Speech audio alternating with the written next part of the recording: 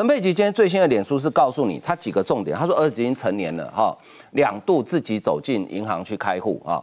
那佩奇呃很多被诈骗集团骗钱的也是自己走进银行去把钱汇走，哦，所以两度去银行开户 不能证明什么，而且开公司本来就要公司负责人自己去银行开户啊，这个是规定，你没有办法请其他人去哈。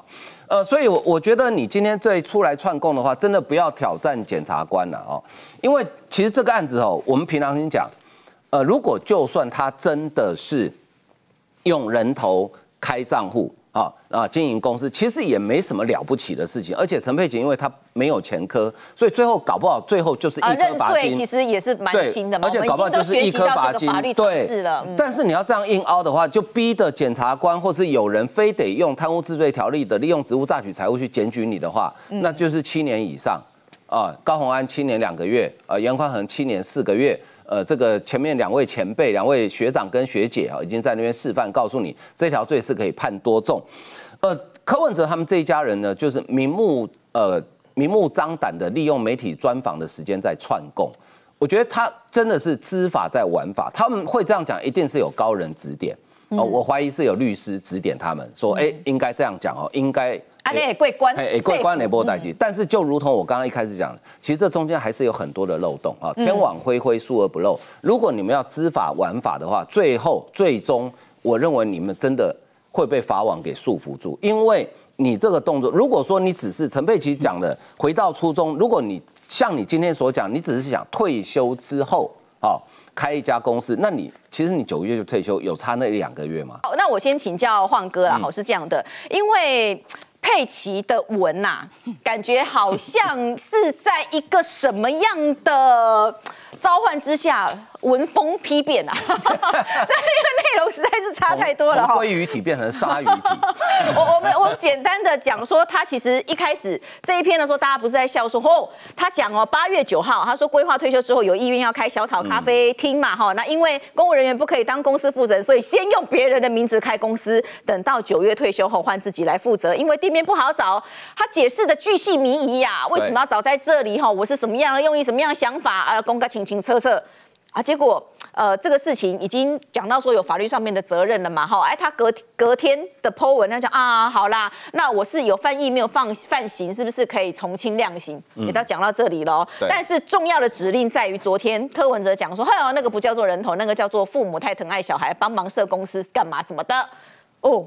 今天生日就不一样了，内容就完全不同了。他说：“我跟你讲，我儿子是自己走进去银行开户的，取这个名字，因为叫做智瑶嘛，哈，啊，那个传媒科技公司呢，也是跟他的所学有关。请问你犯了哪一条法律？我儿子自己开的，我儿子出己出了钱，前面讲的跟后面讲的完全对不上，哎，这是怎么一回事？”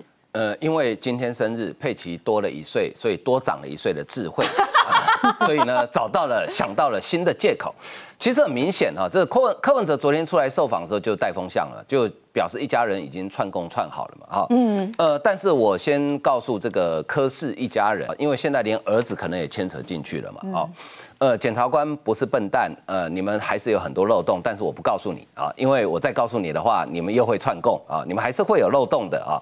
那检察官，我觉得他们在不断的在挑战检察官的耐性跟底线呢。如果我是台北地检署的检察官的话，哈，我一定会主动分案来侦办。为什么呢？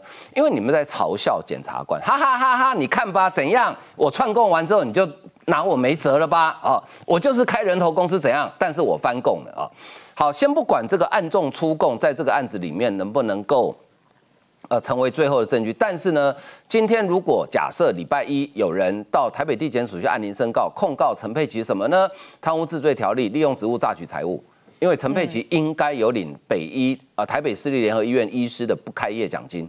啊，据我所知，呃，北医的医师几乎每个呃联医的医师几乎每个人都都有领。对。哦，因为不开业奖金其实它加上去是蛮大一笔。可是他这个公司感觉目前应该还没有钱进来啊，这样也算吗？呃，有没有钱进来要查了才知道，而且即使没有钱进来也算，因为你已经在经营副业，就是兼职啊，叫做兼职哈。嗯，好，陈佩，他那个一个月是四万五千块奖金。对对，他的不开业奖金其实蛮高的，对对，因为当时就是鼓励他们不要到别的医院去兼职嘛。嗯。好，所以呢，如果有人去按铃申告的话，台北地检署就必须要分案侦办，那就很简单，呃，请联合联一提供陈佩琪领领不开业奖金的证明，然后呢？再去查这家制药公司的所有的账户往来，因为我们现在查到这家公司的资本额叫十万，但是事实上这家账户这家公司现在账户里面有多少钱，我们都不知道。嗯，好，我们都不知道。陈佩琪今天最新的脸书是告诉你他几个重点，他说儿子已经成年了，哈，两度自己走进银行去开户啊。那佩奇呃，很多被诈骗集团骗钱的人也是自己走进银行去把钱汇走，哦，所以两度去银行开户不能证明什么，而且。开公司本来就要公司负责人自己去银行开户啊，这个是规定，你没有办法请其他人去哈。呃，所以，我我觉得你今天再出来串供的话，真的不要挑战检察官了哦，因为其实这个案子哦，我们平常跟你讲，呃，如果就算他真的是用人头开账户。啊啊！经营公司其实也没什么了不起的事情，而且陈佩琪因为他没有前科，所以最后搞不好最后就是一颗罚金。其实也是蛮轻的嘛。而且搞不好就是一颗罚金。对，了。但是你要这样硬凹的话，就逼的检察官或是有人非得用贪污治罪条例的利用职务榨取财物去检举你的话，那就是七年以上啊。高鸿安七年两个月，啊，严宽恒七年四个月。呃，这个前面两位前辈、两位学长跟学姐啊，已经在那边示范，告诉你这条罪是可以判多重。呃，柯文哲他们这一家人呢，就是明目呃明目张胆的利用媒体专访的时间在串供。我觉得他真的是知法在玩法，他们会这样讲，一定是有高人指点。哦，我怀疑是有律师指点他们说，哎，应该这样讲哦，应该。啊，那也贵关，哎，贵关那波代际。但是就如同我刚刚一开始讲的，其实这中间还是有很多的漏洞啊。天网恢恢，疏而不漏。如果你们要知法玩法的话，最后最终，我认为你们真的会被法网给束缚住。因为你这个动作，如果说你只是陈佩琪讲的回到初衷，如果你像你今天所讲，你只是想退休之后啊开一家公司，那你其实你九月就退休，有差那一两个月吗？真的没差。好，你说现在变成说是你儿子要开公司，那我就问你嘛，那你儿子要不要叫你儿子自己出来讲一下，他到底要开什么公司，他想做什么？因为这家公司很奇怪，他设的地址就跟木可跟柯文哲的智库是在同一个公司。如果你儿子真的心里想要闯出一番事业来，那照理说不会把公司设在跟智库跟基金会在同一个办公地址。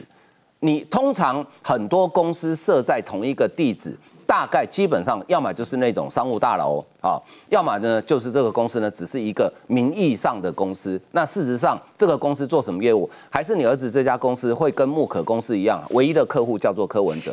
嗯，哦，那你现在开太晚了，因为嘿大地吧，让人挂起。哦哦，就盖双计嘿，义无反顾拼很多次。呃，义无反顾积压一次也可以啊。也就是说，下一次选举已经是两年以后的事情嘛？你这家公司在那边摆两年，然后两年以后才有第一笔生意进来吗？我觉得不太可能哈。所以，呃，这家公司真正要设立的目的是什么？我认为它就是未来检察官要调查的重点。如果这个案子到地检署去的话，因为这家公司的成立的时间点跟他设立的地址其实非常奇怪。更重要的是，这家公司的负责人唯一的负责人是柯文哲的亲儿子。那你说？儿子的公司开在爸爸的基金会的同一个办公地址，然后这这个负责人呢，现在人不在台湾，然后是由妈妈出面承认说我要开人头公司，发现东窗事发之后，还说不是，是儿子要开的公司，我唯一参与的是跟他讨论公司要叫什么名字啊，你们在家里的事情我们怎么知道？我们又没有去你家监听，也没有监看，对不对？所以我觉得陈佩琪、Lisa 共戏到底没关系，呃，其实如果以检察官的角色的话，其实检察官希望你多讲。嗯，因为你功撸嘴好，绕高撸嘴，对你越容易露馅。因为这件事情你心虚嘛，你如果不是心虚，不会七天换三种说法。加柯文哲是四种，对，那代表你心虚嘛，那心虚必定会有破绽。